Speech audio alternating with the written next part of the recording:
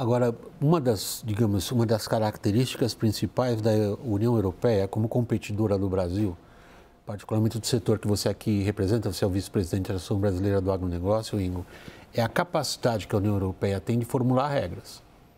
No mundo que vai perdendo as suas regras, quem tem capacidade de formular um mínimo de um conjunto de normas a serem respeitadas tem muita força.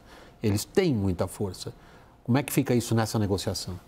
É, é, tem toda a razão. Eu acho que o mindset é, ambiental hoje, mundial, é, é muito fortemente regado pela União Europeia. A gente nunca deve esquecer que diariamente a União Europeia negocia com todos os países as regras deles internamente. Então, para eles é, é, jogo diário.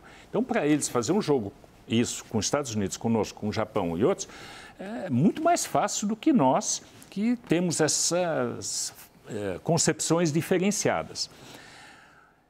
Acontece que, nesse momento, a União Europeia tem consciência de que a inflação alimentar está 5% acima da inflação base.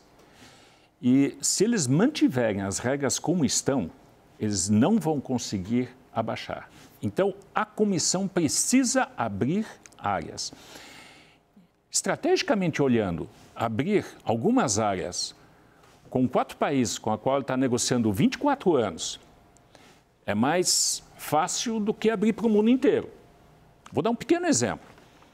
A regra de não mais importar produtos a partir de 25 que vem de áreas desmatadas. Sim, foi o que provocou o Daniel se referiu.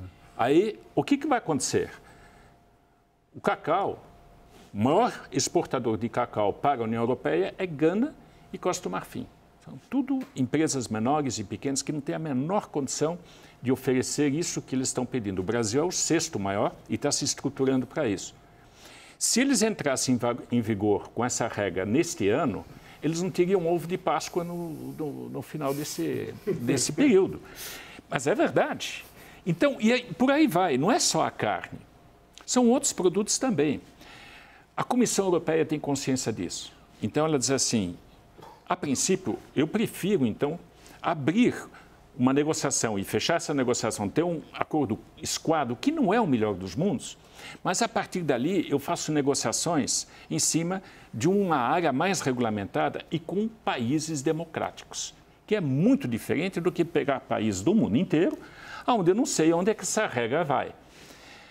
E pior ainda, a União Europeia hoje está demitindo milhares e milhares de pessoas na área automotiva por uma regra exagerada de carbono emitido por veículos que não podem mais ser vendidos em relação aos elétricos que não são mais subvencionados.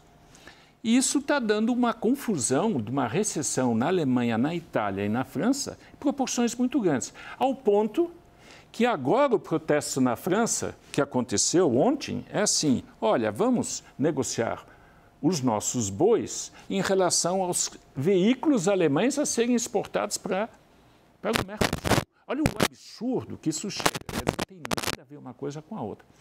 Então, a Comissão Europeia tem consciência disso. E, portanto, eu penso que esse acordo vai sair e vai sair rapidamente, mesmo com o protesto francês e mesmo com todas as dificuldades que teremos pela frente.